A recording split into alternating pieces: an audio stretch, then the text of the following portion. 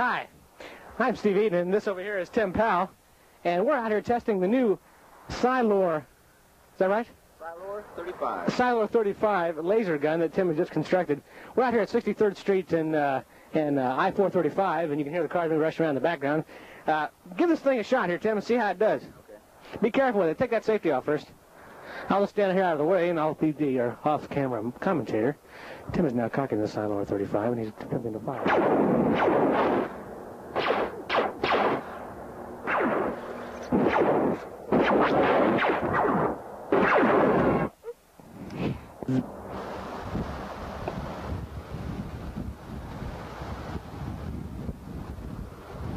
Hi, my name is Tim Powell, and uh, Steve Eaton will try the Turnon 347.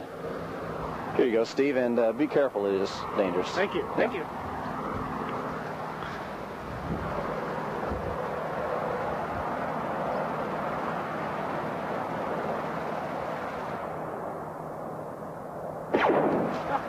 I think kicks quite a bit. Be careful. You can uh, control the charge there, just push that one button forward. You... Oh, okay,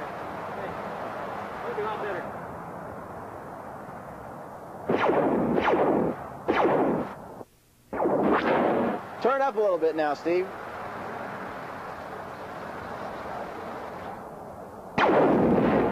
Don't get carried away there.